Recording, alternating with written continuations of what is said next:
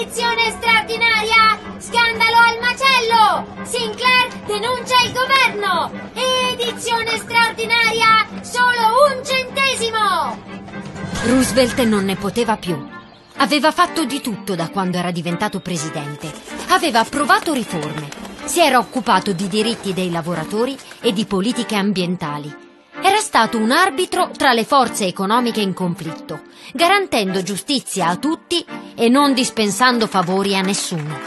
Eppure quel Sinclair lo stava facendo impazzire. Presidente, il New York Times ha pubblicato la denuncia di Sinclair.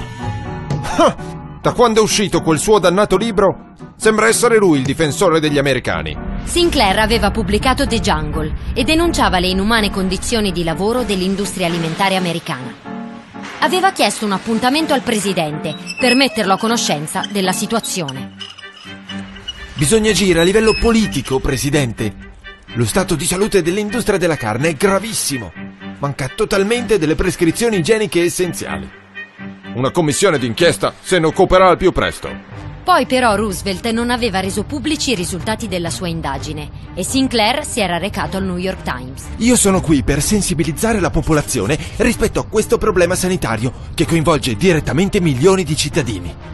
La popolazione incominciò ad allarmarsi e lo scandalo travolse il presidente. Bisogna agire subito, oggi stesso o il lavoro di due mandati andrà a farsi benedire. In un giorno soltanto vennero così approvati due provvedimenti che obbligavano a specificare ingredienti e data di scadenza per ogni alimento in vendita. Ma l'ondata di denuncia non sembrava arrestarsi. Il primo era stato Jacob Ries, fotodocumentarista di origine danese, a mostrare al mondo le squallide condizioni di vita negli slums di New York. Era stato fotoreporter della polizia per molti anni Aveva avuto accesso e aveva immortalato diverse situazioni limite. E il suo racconto aveva smosso i cuori della New York borghese e benestante. Il sovraffollamento e la miseria furono così evidenti che l'altra metà divenne una realtà difficile da nascondere. Scrittori e giornalisti continuavano a pubblicare articoli, inchieste, romanzi, vignette e fotografie che influenzavano l'opinione pubblica statunitense.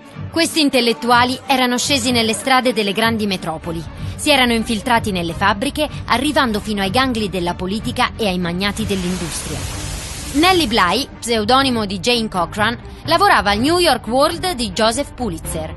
Rimase sotto sorveglianza presso il Women's Lunatic Asylum per dieci giorni e poi ne denunciò le condizioni inumane. Sì, è fatta passare per pazza, ma è una mia giornalista e dovete rilasciarla subito. È una trappola per topi. È facile entrare, ma una volta lì è impossibile uscirne.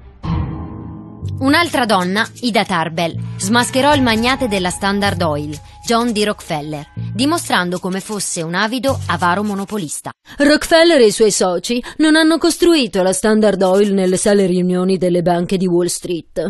Ne hanno ottenuto il controllo attraverso bustarelle e ricatti, spionaggio e riduzione dei prezzi, con un'organizzazione efficiente e spietata. La sua inchiesta divenne rapidamente un best seller e la Corte Suprema degli Stati Uniti dovette applicare la legge antitrust decretando lo scioglimento della holding in 34 società distinte. Per Theodore Roosevelt era un'emergenza dietro l'altra.